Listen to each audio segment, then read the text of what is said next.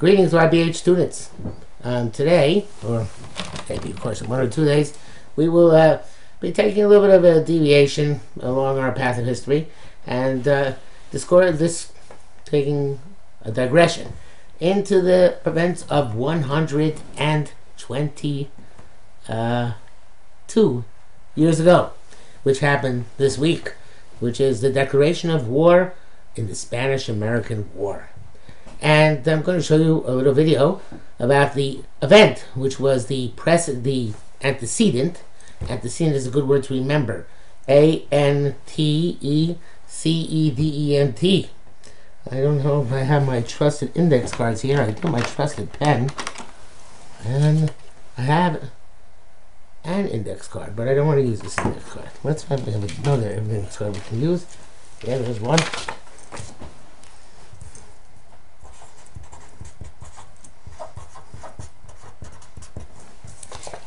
Antecedent. A N T E C E D E N T. That means the event which led up to. Make sure to write that down. The Spanish American War. I'm sure to write that down too. Which well, began with the event of the seeking of the Maine in the Havana harbor. And there was a rallying cry for the Spanish American War, which was Remember the Maine, M A I N E, as in the state of Maine. And that battle cry was that ostensibly, ostensibly is a good word too, ostensibly means purportedly, which is also a good word. Purportedly, my, we're having fun today purportedly, which means something which you, there it goes, something which you assume may be true, but it's not necessarily true. Hmm. Let's get the focus a little bit better. So ostensibly, purportedly, those are synonyms. Make sure you have them down.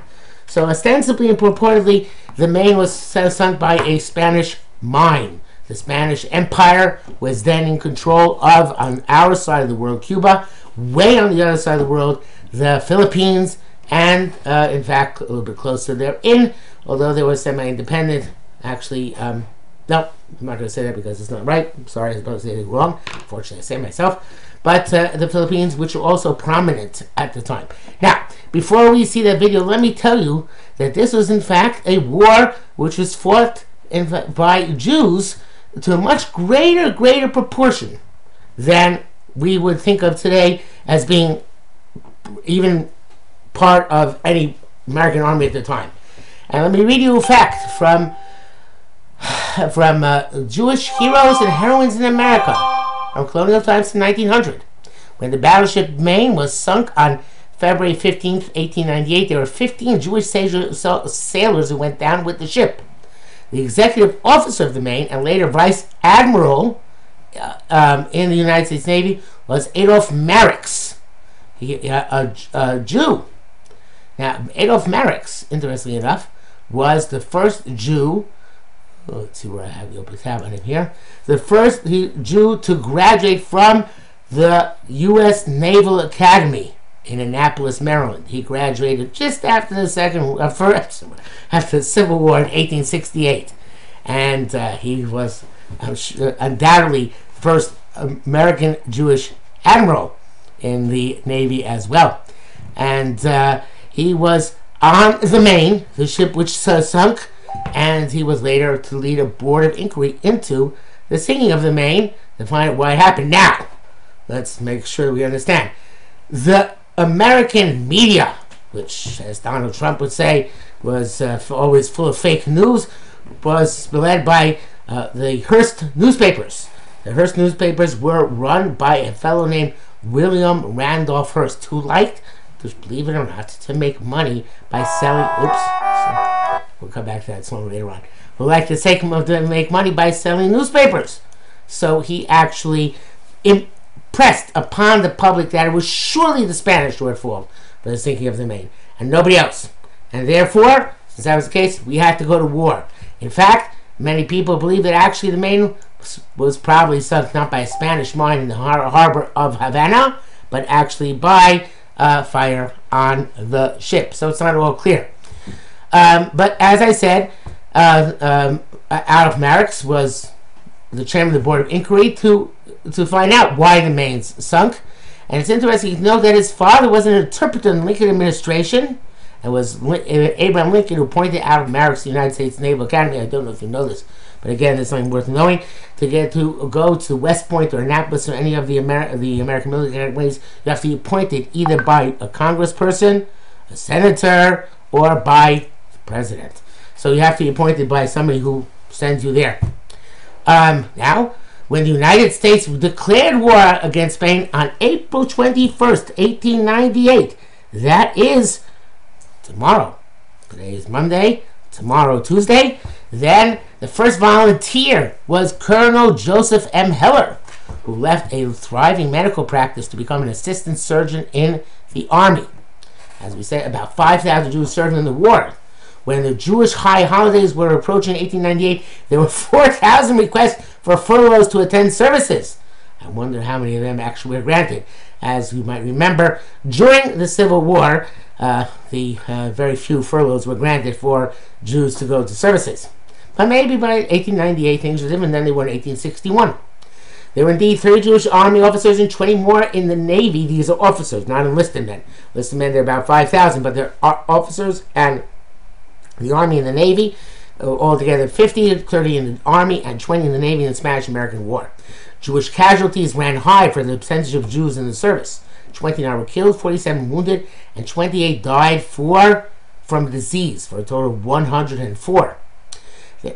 Colonel Ben Prager received the Silver Star Medal for his braving in the Philippines in 19 skirmishes and engagements. The official citation describes his accomplishments. When the engagement was fully opened up, Colonel Benjamin Prager and seven other soldiers from companies A and L, 19th, 19th United States Infantry, moved out and charged the enemy. After, after twice charging in the face of heavy fire, succeeded in dislodging the enemy and putting the entire force to rout. Another good word for us to know.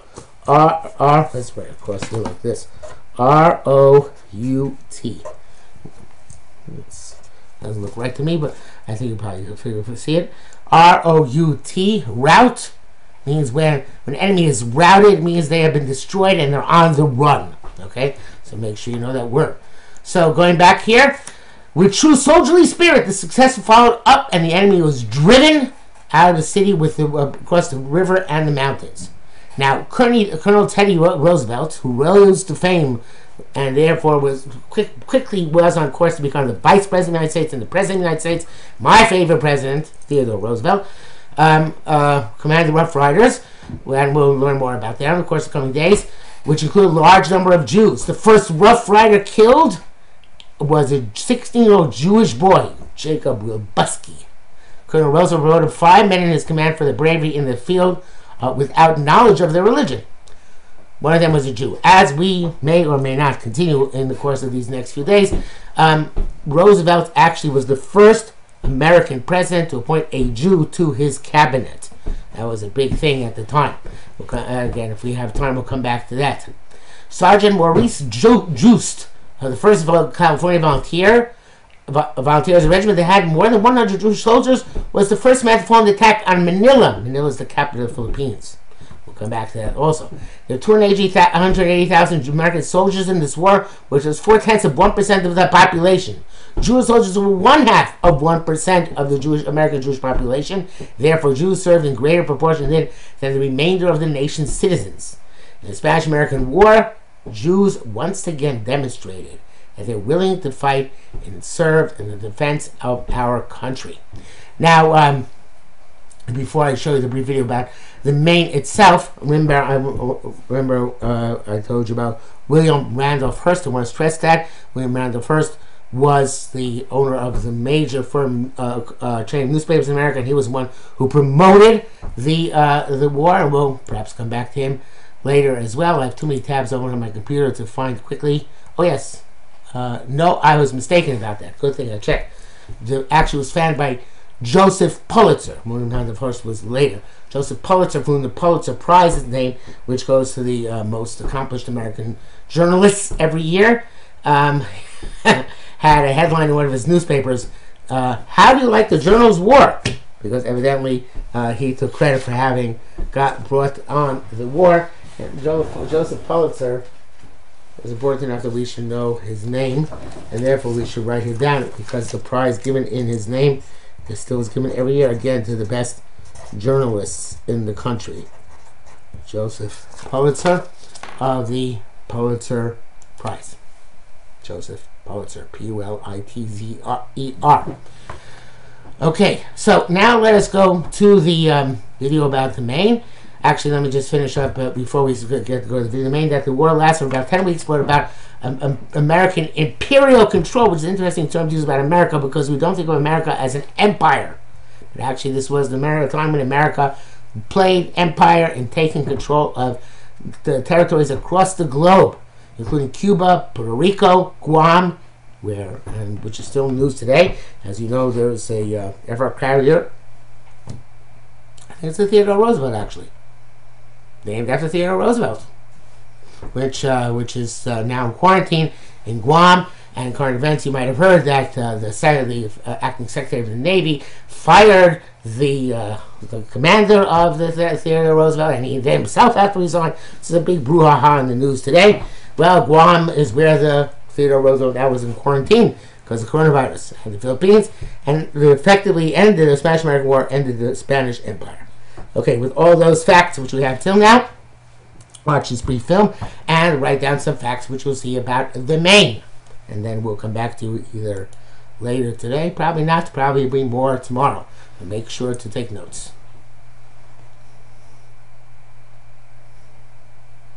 In late January 1898, one of America's newest battleships, the USS Maine, sailed into Havana Harbor as a show of support for Cuban revolutionaries.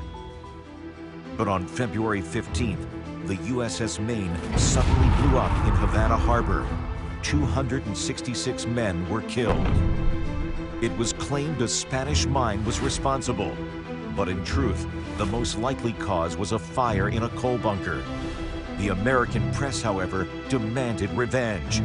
Remember the Maine became the battle cry. This led to President McKinley declaring war on the Spanish Empire to liberate Cuba from the Spanish yoke and also to give the Americans the opportunity to have a go at uh, Spanish position in the Pacific.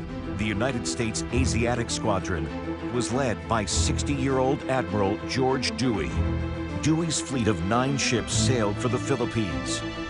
Waiting for them off the coast of the capital Manila was the elderly Spanish fleet, commanded by Rear Admiral Don Patricio Montojo y Pasaran. Spanish Admiral Montojo realized that his force of colonial cruisers, many of them built of wood, quite obsolete with short-range weapons, would be completely outclassed by the Americans. So he put them as close to the shore as possible so that when they sank, the crew might have a chance of getting ashore. On the early morning of May 1st, 1898, the Olympia led Dewey's fleet into Manila Bay with her four 8-inch guns mounted on turrets, 10 5-inch guns for broadsides, and 21 smaller 15-caliber guns. The flagship was an impressive sight. And unlike his predecessors, Dewey didn't have to worry about the wind. Steam power offered him a variety of tactics. As he comes into Manila Bay, Dewey has a choice. He can either anchor up opposite the Spanish fleet and just exchange fire with them until he wins, or he can reduce the risk to his own ships by keeping underway and making his ships a more difficult target for the Spanish gunners. Fire! His ships open fire and then circle round and open fire again. They just bombard the Spanish. Manila Bay has been described simply as a gun duel. Manila Bay is one of the last battles of the 19th century. There are no submarines, there are no aeroplanes, uh, there are no soldiers. It really is just a fight between two fleets. After a battle lasting six hours, with many of his ships sinking but still firing, Admiral Montojo surrendered. Spanish fleet had been shot to pieces, half of it had sunk, and the rest of it was of not much further use. 330 men died on the Reina Cristina, and 90 were wounded. The wooden Castilla caught fire and sank with a loss of 25 men. The Olympia, however, sailed for Manila, with the ship's band playing Spanish tunes for the locals who'd come to stare at the victorious fleet.